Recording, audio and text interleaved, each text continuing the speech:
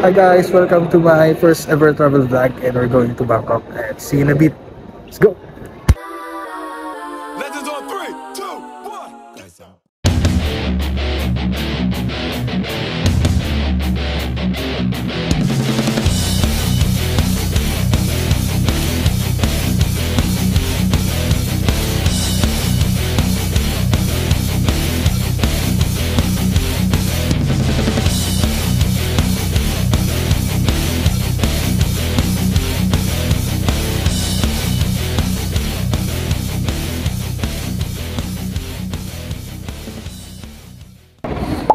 So, uh, we just got landed and nakuha na namin yung mga luggage.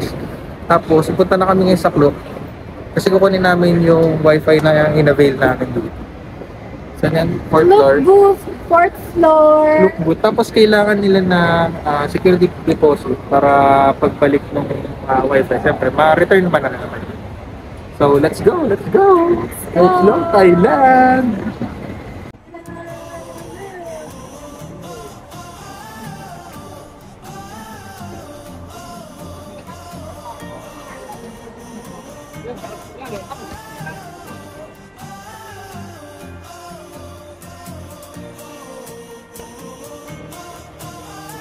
Hi, Lisa.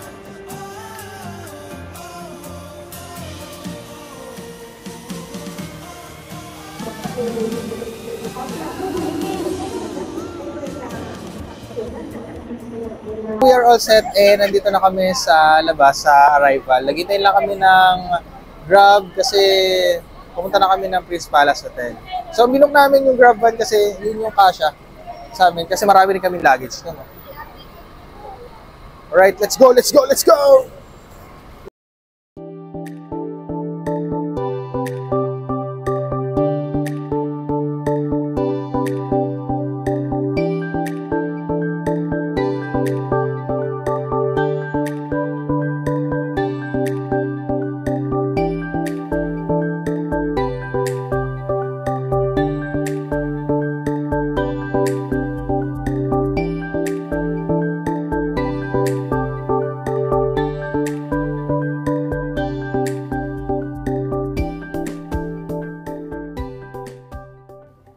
So, andito na kami sa hotel. Nag-ready na lang kami kasi kakain muna kami ng dinner. And sobrang nakakatuwa kasi ang laki nung room. Hindi namin expect na ganito ka siya kalaki. Yung mga yung mga bedrooms talagang for family siguro kaya accommodate to 15 kahit 15 na tao kasi lalaki talaga ng mga room ayun. Stay isa. Tapos, ito pa yung pinang parang master's bedroom nila. So, check it out. Tcharan! Tapos, dalawa lang silang tutulog dito. Hi! dalawa lang silang tutulog dito. Laki-laki. Tapos yung CR pala, check mo natin yung CR. Yung isang CR na Kasi maganda yung... Ah, oh, man, yung CR. Balikan ko pala yung CR. Ito yung CR naman nila dito. Wow. Oh, malinis. And then, ayun. Ito importante, may bidet yung CR. Tsaka may bathtub. Sabi nung assistant manager, nagtuloy daw dito si Manny Pacquiao sa hotel. Oo nga, Two days daw eh, di ba? Nag, nag-ano siya kanina, nagkikwento siya kanina, nung tayo na may laban si Manny Pacquiao, dito daw siya tumuloy for two days. So, ang ganda. Bukas makikita pa natin yung view kasi ngayon. So, halos wala ng view. And then, kasi gabi na. Sa 1.15 na dito sa Thailand and kakain muna kami. Tapos mamaya, mag-ready na kami, tutulog. Tapos bukas, punta naman kami ng temple. So, kain na na. Hello, Manila. Ay, sa Thailand.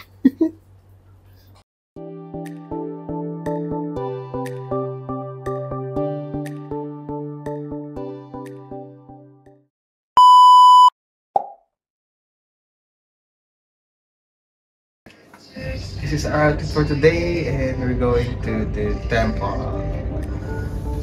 Kata natin. Likod, likod, likod.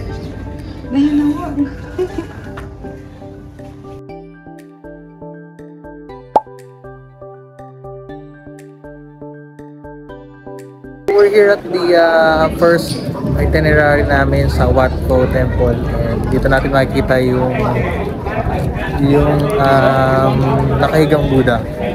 Ayan, tingnan sa loob. Ito yung pila niya, yung entrance niya papasok. Tapos kailangan bayad ng 200 baht. So, libutan natin yung Wat Pho Temple.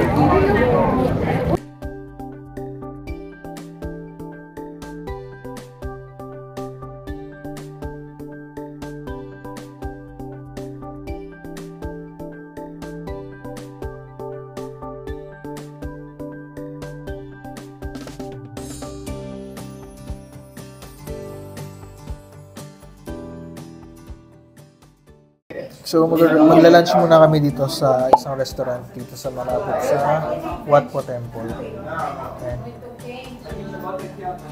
Mag-lunch muna kami. Uh, Nakapag-order na rin. So, balik na lang tayo sa temple mamaya.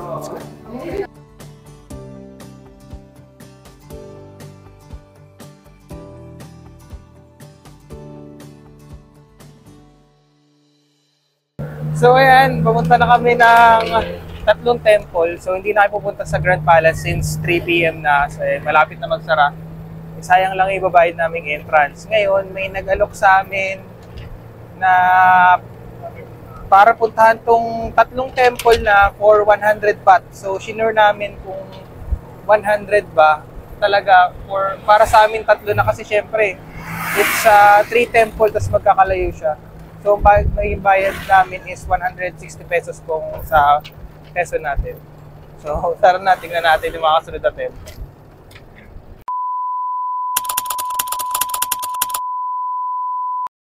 We're here at our next destination sa... Ano ang tawag dyan? Standing Buddha. Sa Standing Buddha. Yung kanina reclining Buddha, ito naman yung Standing Buddha. So nagbayad naman kami dito ng 40 baht for the entrance fee. So tingnan natin yung loob.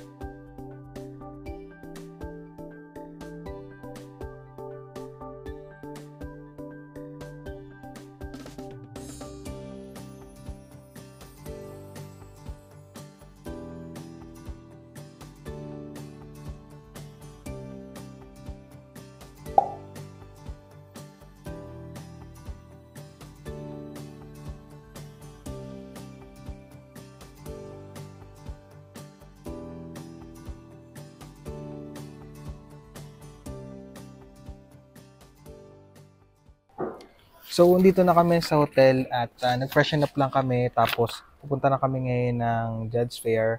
Yun yung night market nila dito sa Thailand. Bale, 15 minutes away from our hotel accommodation. So, let's go!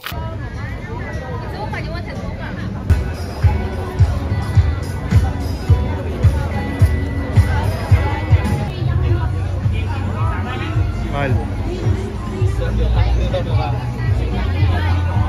So nandito na kami sa Job Fair and kita nyo naman, ayan, sobrang dami ng tao since Friday din ngayon. So dito na kami kakain ng hapunan and then um, ikot-ikot kami para itry yung mga street food nila dito. So ayun na, tutumin na natin mga sardine natin. Let's go, let's go! So ayan, dito kami kumain sa main, main pad thai seafood. Order namin tong spicy rib pork soup. Ayan, size. So, mga iba rin silang mga sabi ng luto ng food. Alright, go.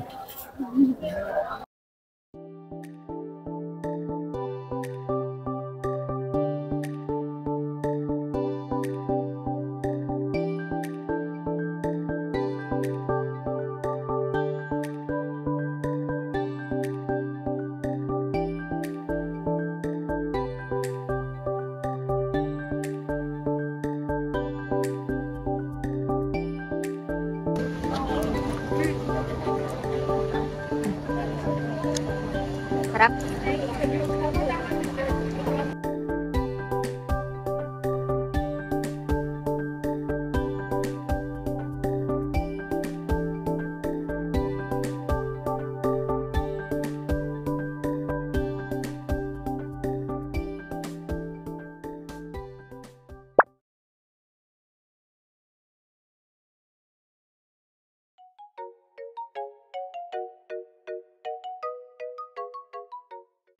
So, we're here na sa True Love uh, Neverland. Nandito yung mga husky. So, makipag-interact sila mamaya sa atin. Uh, check, check muna tayo sa loob para makapupo na tayo. First, mag-register muna tayo nung, uh, sa registration nila. Tapos, uh, kakain na rin tayo sa True Love. True Love. At Neverland din sa Bangkok City. Baby, come on. Hi, baby. How about me, baby?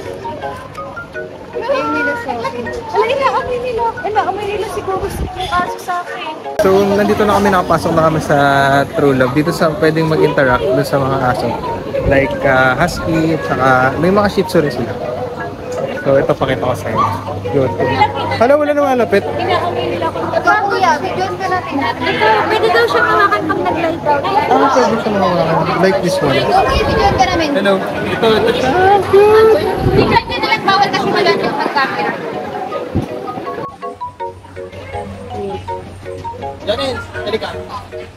Uy, yung os mo nasa labas. Pag ka natin tayo na nasa loob, nandun okay naman safe naman. Nakakatuwa sila. Ito nakakatuwa sila. Lalo ko na. Sa kanila. Sobrang nakakatuwa dito sa True Love. Tulungan mo kasi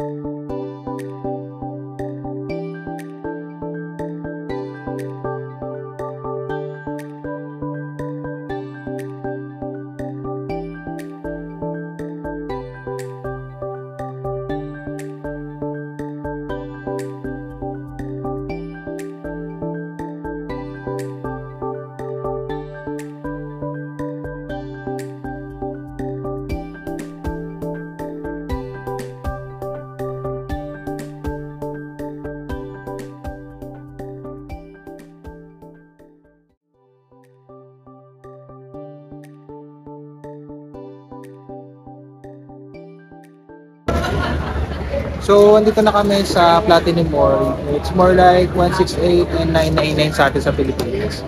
So, tingnan natin yung mga stalls nila kung ano yung makakaiba dito. So, tara.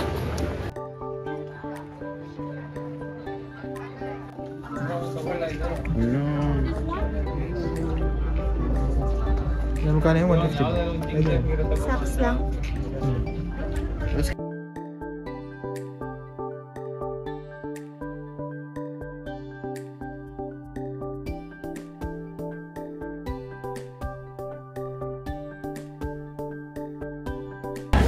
So ito, kain muna kami sa tapat ng Platinum Mall dito sa mga stall-stall na dito. Kasi in order namin, ito tom yum. Ano yung fried rice. Saka may mga, ito pa, parang chicken. Uh, and sour chicken mga ganito.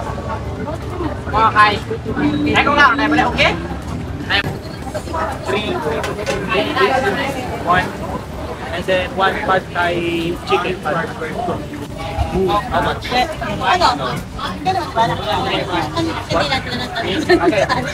One, three. One, one. Ah, one, one, one thousand ulit pa. One thousand one hundred. Yeah. Okay. One thousand one.